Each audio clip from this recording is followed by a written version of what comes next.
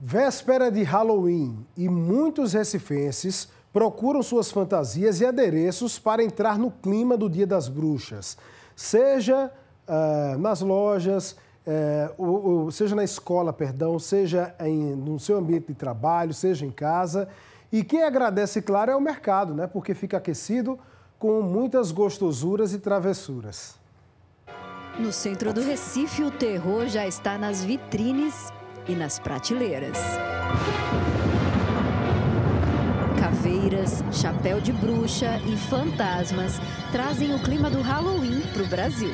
A celebração das bruxas começou nos Estados Unidos. Por lá, as pessoas se fantasiam e enfeitam suas casas para o dia 31 de outubro. Já por aqui, a tradição vem ganhando popularidade e quem comemora é o comércio.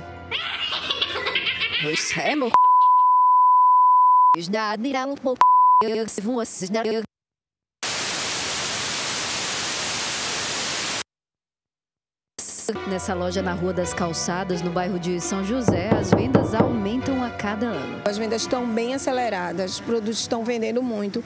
Inclusive, tiveram alguns produtos que esgotaram. É, quais, o que, que tem sido mais procurado aí pelo, pelo pessoal? A parte de máscaras são muito procuradas, tiaras também, de cabelo e a parte de decoração. Os painéis de bruxa, de caveira têm saído muito. São itens que variam de R$ 3,99 até 30 reais. Maiara ficou satisfeita com a compra.